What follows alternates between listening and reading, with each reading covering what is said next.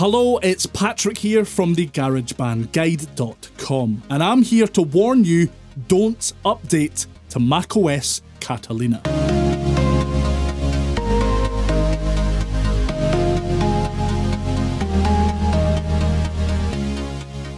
I received an email the other day from IK Multimedia warning me to wait before updating to macOS Catalina. The reason? This update to their operating system brings features, fixes, and updates, but will also affect your use of IK and other audio software that you rely on. We urge all IK users not to install macOS 10.15. Now that's pretty crazy, and you'd be forgiven for wondering why IK Multimedia specifically are having trouble getting their software and potentially their hardware to play nice with macOS Catalina. This isn't an isolated case, however. I got a similar email from ROLI, the company behind the Seaboard, blocks, and other high tech musical instruments.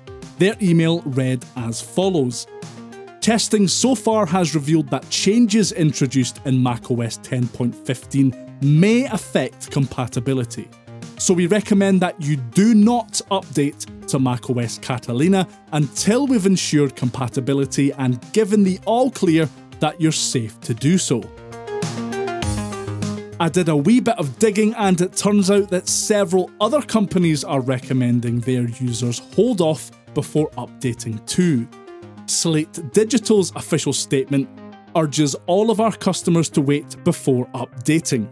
And Native Instruments flat out tell you that all of their software and hardware products are not supported under macOS 10.15. Please do not install macOS 10.15 if you are using Native Instrument products. So, why is Catalina causing this much havoc? It could be down to the fact that macOS Catalina is the first Mac operating system to require all programs to be 64 bit.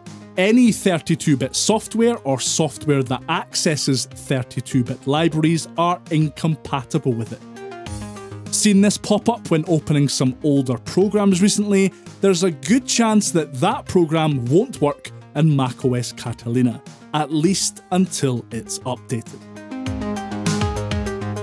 Apple are also tightening security in a big way with Catalina, increasing the frequency your Mac will throw the Are you sure you want to do that? permission boxes at you. As this excellent article on Create Digital Music explains, with a common monolithic app providing these permissions called entitlements is fairly easy.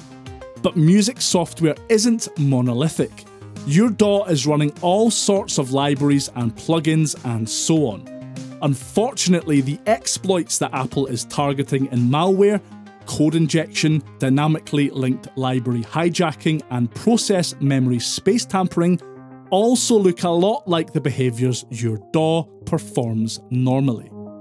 By the way, that article is pretty much required reading for anyone making music on their Mac right now, I'll link it in the description box below. Be sure to check it out.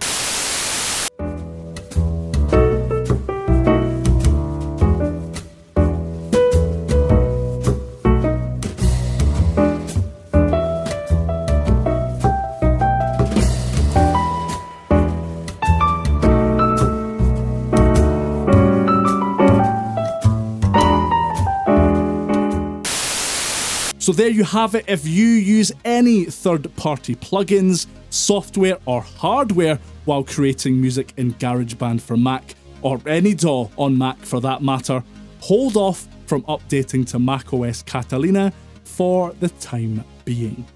I've been Patrick from the GarageBandGuide.com. I'll see you next time. Bye for now.